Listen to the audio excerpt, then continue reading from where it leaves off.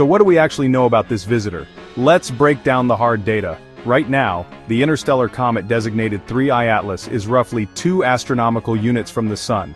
That's double the distance between the Earth and our star, about 300 million kilometers. Its speed is almost difficult to comprehend. It's currently traveling at nearly 60 kilometers per second and is still accelerating. By the time it makes its closest approach to the Sun, that velocity will peak near 68 kilometers per second, to put that in perspective, that's more than twice the speed of any planet, and fast enough to travel from the Earth to the Moon in a little over an hour.